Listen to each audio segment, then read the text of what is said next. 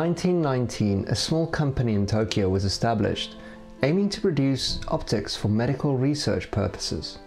At the time, Japan generally imported all their medical equipment from Germany, but their ambition was to rival and hopefully surpass the quality of their German imports. So, in 1920, under the name Takiwa, their first microscope was released. A mere year later, the small Tokyo-based company registered their trading name under a more familiar sounding name. After a good start in the optics market, Olympus aimed its sights at the photographic market by developing lenses based on Zeiss's Tessar lenses. They employed a young man by the name of Yoshihisa Maitani to head production. Unfortunately, after not finding anyone willing to buy the lenses, the company decided to rather build a camera to fit the purpose. And so, the Olympus Standard and Semi-Olympus 2 were born. With the birth of two new cameras, it positioned Olympus as rival to Ikonta and Contax, two prominent manufacturers of the time. But instead of copying their German rivals, they opted for a complete redesign of the cameras. Well, because they found the competition to be, plainly put, boring. The company continued to develop exciting new products such as the Trip, Flex, and Pen cameras. However, it wasn't until 1972 that Olympus produced something to be considered a dawn of a new era for photography. Formerly known as the M system and designed by Maitani, this camera was Olympus's answer to creating the ultimate 35mm film camera by making it lighter, more ergonomic and pleasant to look at. However, a small German camera company at the time saw this brand new design and took offense at the name, causing Olympus to simply rebrand it to the OM system we know today. This new system was a revolutionary new camera designed for the professional but lighter than other cameras produced by big names such as Canon and Nikon. Now, decades have passed since Olympus unveiled the OM1 to the photographic market. During this time, they survived the World War, the declining film market, the rise of digital cameras, and undergone a few name changes as well. But half a century later, they've unveiled what promises to be their next major milestone in a long and arduous journey of camera and company development. Today, Olympus is regarded as one of the best Micro Four Thirds SLR cameras to use on the market, and it's about to get even better. Meet the newly rebranded OM Systems OM1, 50 years in the making.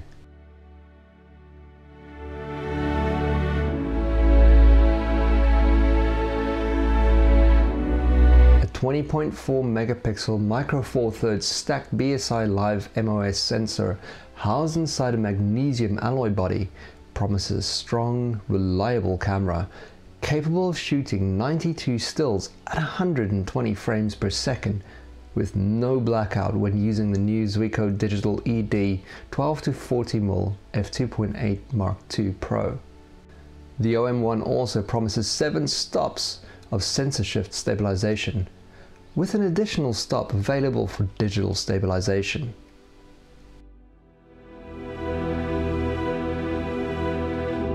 Now the autofocus has also been vastly improved, allowing you to track aircraft, bullet trains, birds, cats, dogs, formula cars, helicopters, motorcycles, rally cars, standard trains, and even steam locomotives all by selecting it from an option in its beautifully designed menu.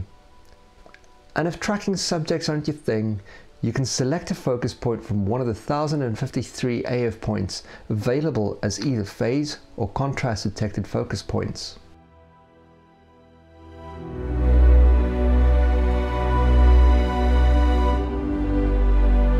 Speaking of focus, the OM1 has a built-in focus stacking mode that allows you to shoot 3 to 15 images at different focus points and automatically composites them together in a single image.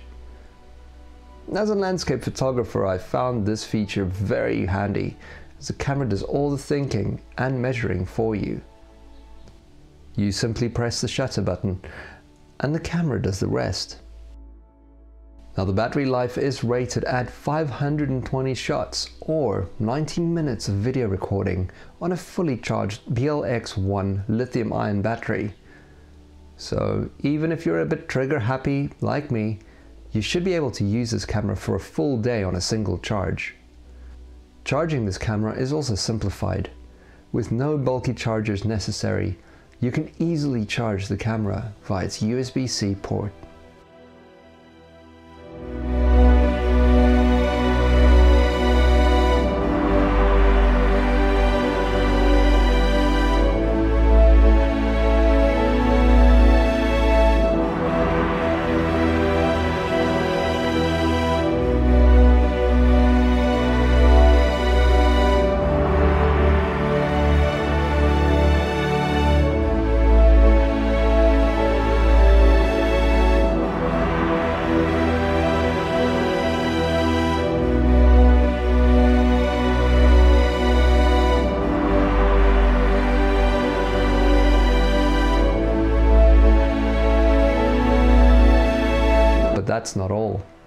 The OM1 is capable of shooting video up to true 4K or C4K at 496 by 2160 and either its OM log or HLG modes with unlimited recording time. It features a jack to plug in a 3.5mm microphone and a separate jack for your headphones.